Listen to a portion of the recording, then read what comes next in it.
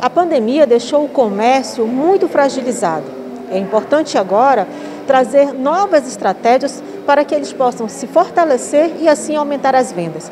Pensando nessa dificuldade, a CDL, junto com o comércio, está aí realizando a campanha Move Varejo. Nós vamos conversar com a presidente do CDL, Joana Joanora, sobre essa campanha que vai ser lançada através da live, mas inicia dia 1 de agosto, não é isso? É. A campanha Promove Varejo da CDL ela vai ser lançada hoje, dia 29, né? E começa já a venda é, dia 1 de, de agosto, que justamente essa campanha Promove Varejo foi feito para fomentar o comércio e também nas datas comemorativas, né? Que nós temos aí o segundo domingo de, de agosto, dia dos pais, depois vem o dia das crianças e, de, e a Black Friday. Então eu acho que é um momento né, certo do consumidor sair ao comércio, comprar e ganhar prêmio, que todo dia vai ter um consumidor que vai ganhar 400 reais em vale compra.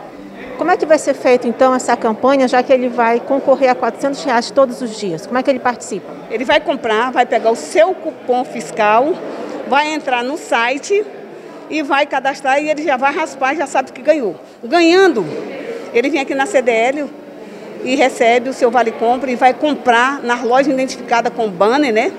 Que vai estar todas identificadas com banner nas lojas participantes.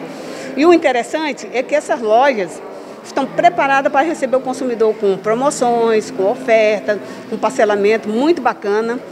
É uma hora, é o momento agora do comércio reagir depois de uma fase né, difícil que nós tivemos aqui, no, no é, na verdade foi no mundo, né? Mas para nós aqui do Norte foi mais difícil. Para chegar a esse momento, o CDL preparou toda essa promoção, Promove Varejo, para esse momento. A campanha está sendo lançada hoje. Isso fortalece o comércio aqui em Porto Velho, não é? É verdade. Eu quero dizer a vocês que nós estamos aqui representando a Federação do Comércio, que somos parceiros do CDL, fazendo essa campanha do Amores, que é para movimentar o nosso comércio, porque nós já estamos aí quase saindo dessa crise, de, dessa doença maldita, mas se Deus quiser, nós já estamos começando a chamar o povo para a rua, que é a primeira depois da pandemia, essa campanha. Secretária, qual a importância desse projeto, dessa campanha Amores para o Turismo aqui em Porto Velho?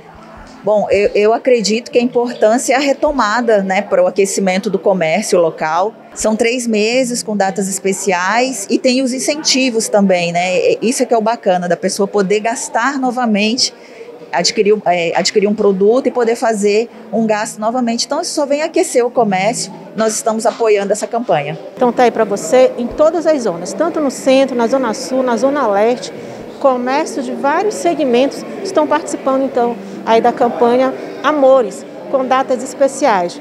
Agora, Dia dos Pais, depois Dia das Crianças e o Black Friday. Com imagens de Eduardo Lima, Nuriana Labareda, para o programa Rondônia Urgente.